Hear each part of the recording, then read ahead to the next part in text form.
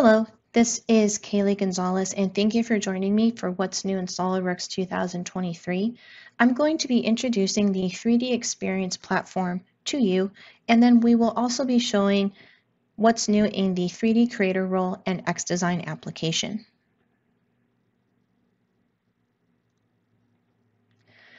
First of all, let's start out with what is the 3D Experience platform.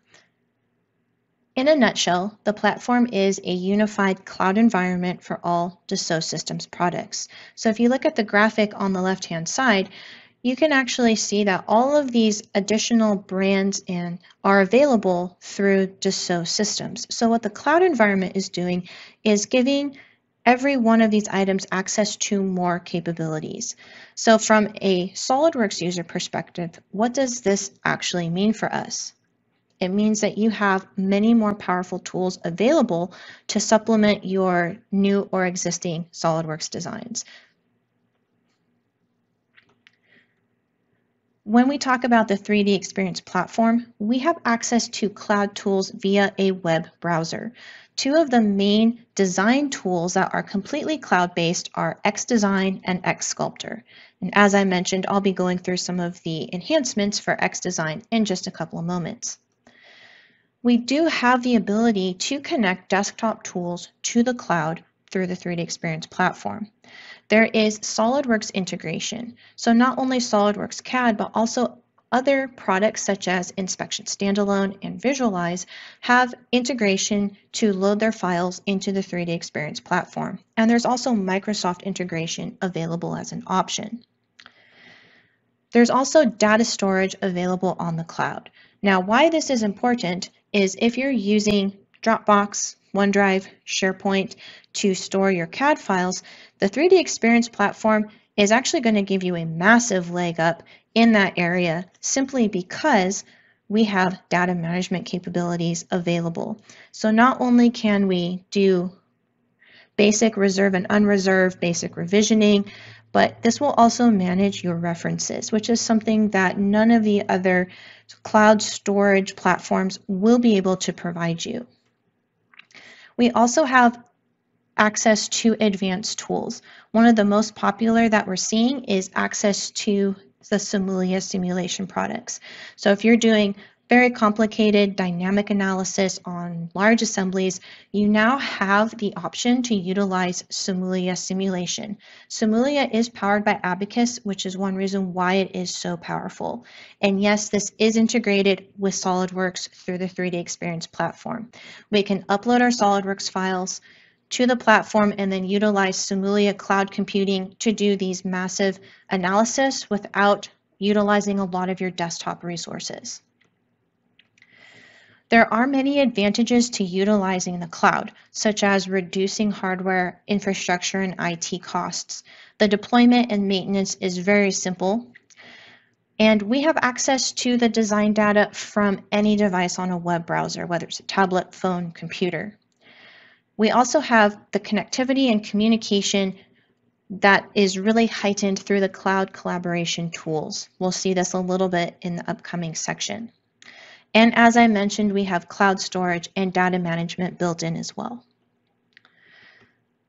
When we think of our current existing products, we are used to having this full desktop portfolio of products. Now we also are seeing full cloud items as well. Where the 3D Experience platform is really filling in the niche is allowing us to actually integrate these two together. So the idea here is to have a very seamless collaborative environment.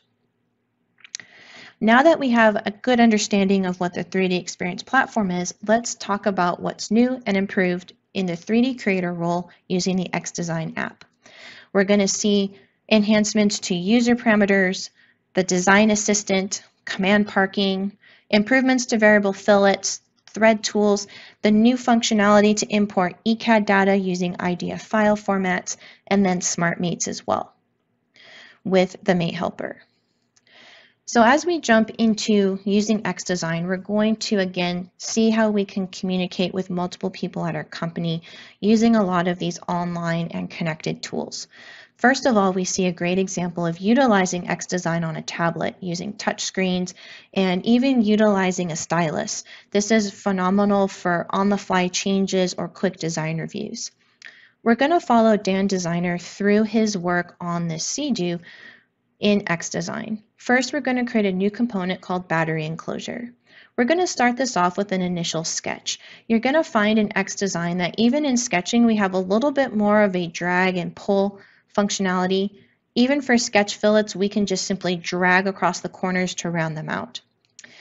XDesign uses super features which allow us to move between features very, very quickly to get the proper feature that we're using. We can use user parameters in order to update things like thicknesses, extrudes, sketch dimensions very, very quickly. Shortcuts and on-screen callouts help us navigate the interface, and command parking allows a lot of common functions to be available very quickly. When we start sketching, we can also make use of the Design Assistant, which uses some artificial intelligence in the background to help predict when we're going to do a lot of repetitive actions. So the idea here is to reduce a lot of rework. In X-Design, as you saw, I just grabbed a face and extruded it. I can also drag and pull variable fillets so we're actually seeing a lot less work that we have to do with some of these features. We can drag items between screens in X-Design as a fast way to insert components. Even creating mates, we're seeing how the system can predict adequate mates in order to snap items into location. We can also go ahead and insert and mate items, such as that gasket in a single operation, and we can actually import ECAD files using the IDF format. This is something that is new inside of XDesign that we're excited to see. Now, as far as adding in the hardware, we're able to add that in once. Next, we can use the Design Assistant and Mate Helper in order to quickly add the other instances. XDesign Assemblies also now uses copy with mates functionality in order to very quickly add repetitive mates into this design. We can view motion in the assembly to make sure everything's going to be functioning as intended. Once we are completed with some of our design work, we can collaborate with other people in our company using the 3D Experience platform. We can manage tasks, do reviews, markups. Again, the collaboration here is actually pretty phenomenal, and this is all available through your 3D Experience platform. If we have more work we have to do, we can drag and open directly inside of XDesign. Here we're going to actually make use of a circular pattern to add additional components to the back end portion. We can reuse sketches and other information, again, to really reduce a lot of rework even on the platform. If we're going to 3D print something, we can make use of the thread tool, which allows us to create standard threads very fast, very quickly. And we can even see what this is going to look like in a virtual 3D printer test bed. We can auto arrange it. This will allow us to make sure everything's going to fit properly, allow us to optimize how the 3D printer is going to work. We can change some of these angles for the, the support threshold and then export it to our 3D printer itself. So this does allow us to really streamline that process as well. So as we took a quick snapshot into XDesign, we saw a lot of collaboration, how we can do reviews, a lot of designs, and we're no longer restricted to a specific type of device. This can be done on a computer, tablet, phone. You always have access to your data through any of these devices. So this was a very quick snapshot, being able to go through 3D Creator and X Design. If you have any additional questions about what you saw or you want to take a deeper dive, please check out my tutorial, which is going to go through some of this information a little bit more in depth and at a slower pace.